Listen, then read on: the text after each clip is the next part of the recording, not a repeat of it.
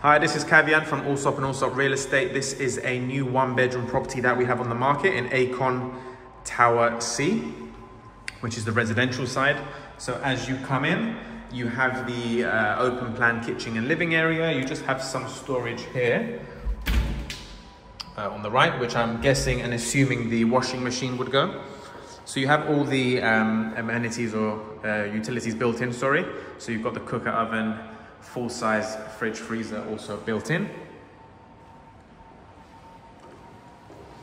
So just under 600 square foot for this, uh, for this one bedroom.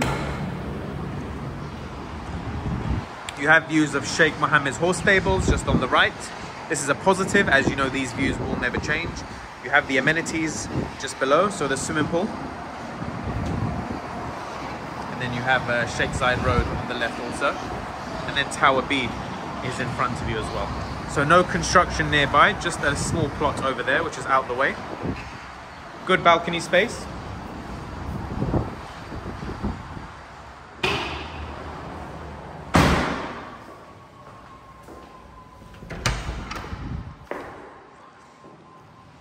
Double access into the balcony.